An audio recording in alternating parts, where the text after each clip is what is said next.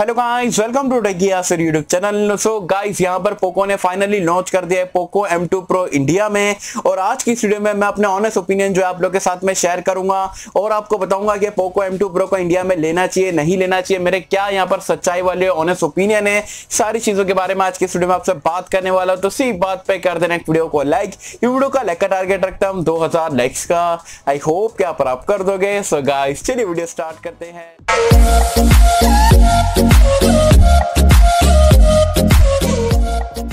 So friends video start कर लेते हो वीडियो स्टार्ट करने से पहले आपको बता दो, Realme 6s या बोल सकते हो 6i जो कि इंडिया में बहुत ही जल्दी लॉन्च होने वाला है। Realme की तरफ़ से पंद्रह हज़ार रुपए की रेंज में उसके ऊपर कल मैंने वीडियो डाला था। अगर आपने वीडियो नहीं देखे हो तो उसका लिंक मैंने नीचे डिस्क्रिप्शन में पिन कमेंट में दे दिया हो। ज़रूर से ये वीडियो देखने के बाद वीडियो को चेकआउट कर सकते हैं। चलिए बात कर लेते हैं यहाँ पर पोको एम टू प्रो के बारे में। तो जैसा हमने बताए थे, जैसा गैस करे थे, वैसे क्या वैसा जो है पोको एम टू प्रो निकल गया है। अगेन रीब्रांड वाला स्मार्टफ़ोन है। रेडमी नोट नाइन प्रो जो कि इंडिया में मिलता है भाई सेम टू सेम फ़ोन यहाँ पर चिपका दिए सिर्फ़ जो है रेडमी का लोगो हटा के, जो है पोको का लोगो यहाँ पर लगा दिए और बोल दिए, भाई पोको एम प्रो है। सिर्फ़ यहाँ पर आपको चेंज क्या देखने को मिलता है?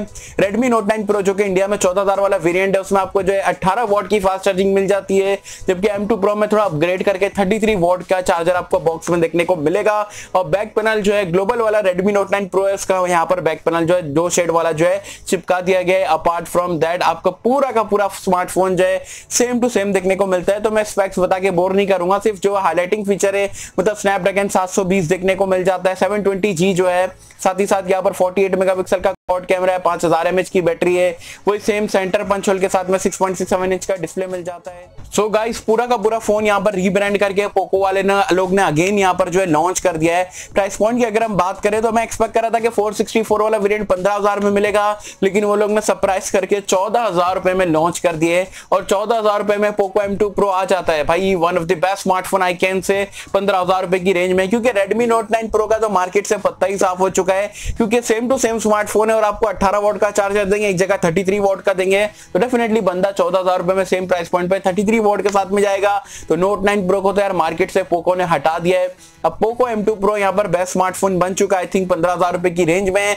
साथ में मैक्स वाले को भी यहाँ पर ये काफ़ी ज़्यादा आप बोल सकते हो कस्टमर को खींचेगा, क्योंकि मैक्स का जो बेस वेरिएंट है अराउंड सत्रह हज़ार, साढ़े सत्रह हज़ार रुपए का आपको देखने को मिलता है। And just for 64 megapixel and selfie camera थोड़ा बेटर के लिए, मुझे नहीं लगता बंदा साढ़े तीन हज़ार रुपए एक्स्ट्रा पे करना चाहेगा। तो उसका भी पत्ता यहाँ पर आप बोल सकते हो थोड़ा सी कट चुका है। तो रेडमी ने अपनी खुद ही की जो है स्मार्टफ़ोन का यहाँ पर लाइनअप को काट दिया है और Poco M two pro I don't know कि मतलब ये कैसा स्ट्रेटेजी चल रही है but Poco M2 Pro I can say चौदह हज़ार रुपए में one of the best smartphone है परचेज कर सकते हो। लेकिन यहाँ पर ये है पोको F1 यार ये स्मार्टफ़ोन आया था, मेरा इतना दिल आ गया, इक्कीस हज़ार रुपए का था। मैंने वन ट्वेंटी एट जी वाला वेरियंट जो स्टार्टिंग में परचेज कर लिया था, ये बेसिकली स्किन लगाया हूँ। लेकिन ज़बरदस्त स्मार्टफ़ोन है, आज की डेट में भी परफॉर्मेंस और डिज़ाइन वगैरह काफ़ी यूनिक है और मुझे पर्सनली आज की डेट में भी यहाँ पर यह स्मार्टफ़ोन काफ़ी बढ़िया लगता है। लेकिन अब यहाँ पर पोको भाई कॉपी कैट ब्रांड हो चुका है, दूसरे को कॉपी कैट बोलते हैं, लेकिन ये खुद कॉपी कैट है। क्योंकि रेडमी का इनका बोलते हैं कि अलग अलग हो चुके हैं, लेकिन कुछ नहीं अलग हुआ है। सेम टू सेम ब्रांड है भाई, एक ही स्मार्टफ़ोन रीब्रांड कर रहा है और रेडमी वाले भी कुछ बोलते नहीं है तो बेसिकली अंदर से एक ही यहाँ पर कंपनी है, सिर्फ़ बाहर से अलग अलग दिखाया जा रहा है।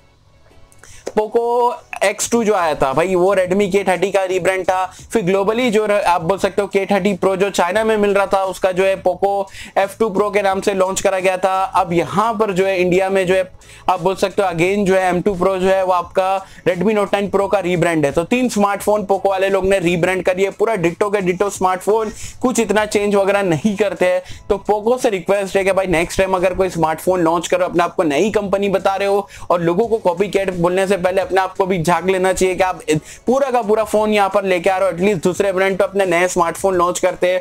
तो पोको से रिक्वेस्ट है कि अगली बार से अगर आप स्मार्टफ़ोन ला रहे हो तो पता है यार, आप लोग थोड़ा एक दो हज़ार रुपए कट करके रेडमी से आप जो है स्मार्टफ़ोन लॉन्च करते हो डेफिनेटली वैल्यू फॉर मनी रहता है। लेकिन ब्रांड का भी एक स्टेटस रहना चाहिए कि नए प्रोसेसर नए कैमरा नई डिज़ाइन के साथ में कोई नया फ़ोन लाए, तब यहाँ पर लोगों को भी यहाँ पर रिफ्रेशिंग या वाला डिज़ाइन देखने को मिलता है, नया प्रोडक्ट देखने को मिलता है। सेम टू सेम है, क्या सिर्फ़ थर्टी थ्री वोट का चार्जर है। बाकी नोट नाइन प्रो भी सेम टू सेम मिल रहा था तो इतना कुछ एक्साइटमेंट नहीं रहती है। हाँ मुझे पता है पोको एम प्रो बहुत ज़्यादा बिकेगा और मैं भी बहुत सारे लोगों को रिकमेंड करूँगा। लेकिन पोको को मेरे हिसाब से जो है, जैसे पोको एफ़ के टाइम पे एकदम से धमाल कर दिए थे, वैसा कुछ यहाँ पर अब करना पड़ेगा। बार बार रीब्रांड करने से मुझे नहीं लगता आगे चल के पोको ज़्यादा टाइम के लिए टिक पाएगा।